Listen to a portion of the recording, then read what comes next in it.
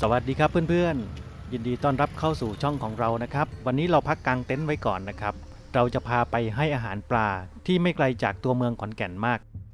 โดยวัดที่เราจะไปวันนี้ก็คือวัดท่าสองคอน การเดินทางก็ไม่ยากนะครับ ท่านสามารถเดินทางโดยรถยนต์ส่วนตัว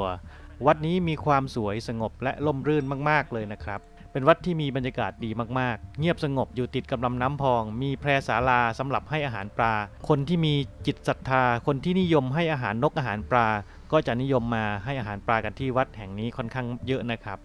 ซึ่งตอนนี้ก็เป็นที่ขึ้นชื่อในสถานที่ให้อาหารปลาของในจังหวัดขอนแก่นไปแล้ว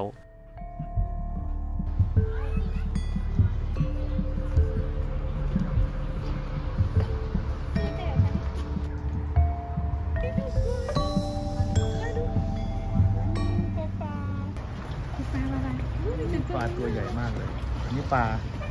ปลาอะไรนี่ปลานินเหรอปลานินตัวน่าจะประมาณโลครึ่งเกือบสองโลอะตัวใหญ่มากปลานินนะครับตรงนี้มีช่างนะครับดูแล้วก็ปล่อยปลาตามธรรมชาติเลย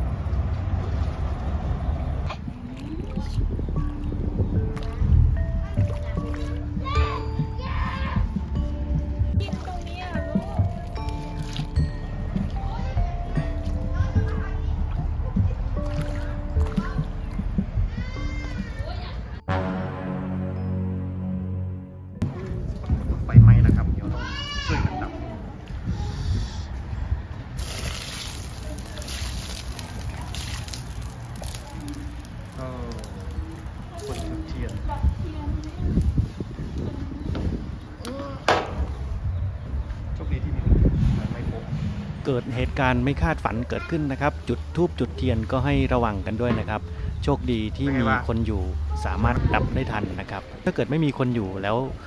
ตรงนี้เป็นศาลาไม้ก็คงจะไม้วอดทั้งหลังเป็นอย่างแน่นอนนะครับ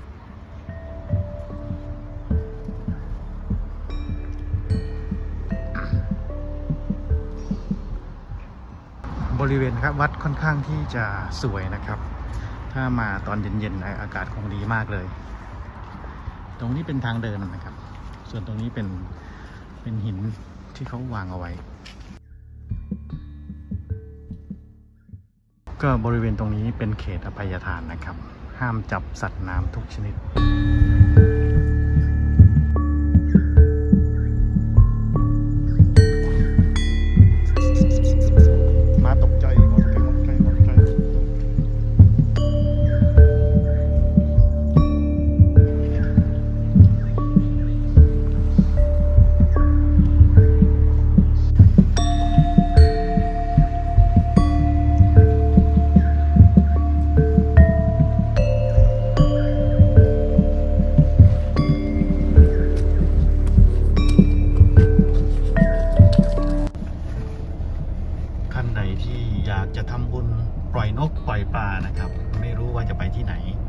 ก็แนะนำมาที่วัด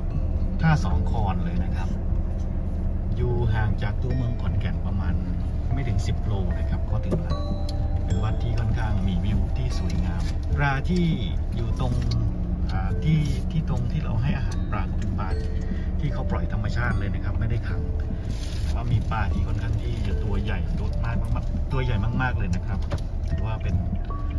เขตอภัยทานนะครับ ช่วงช่วงช่วงบริเวณน่านน้ำบริเวณน้าวัดก็จะไม่ให้อนุญาตให้ให้ใครมาจับปลานะครับ ปลาก็เลยกินอิ่มแล้วก็ตัวใหญ่มากครับ เป็นยังไงบ้างครับเพื่อนๆ วัดท่าสองคอนสวยใช่ไหมครับ ถ้าชอบก็อย่าลืมกดไลค์กดแชร์ กด Subscribe กดกระดิ่งให้เราด้วยนะครับ เพื่อเป็นกำลังใจให้เราได้ทำคลิปถัดไป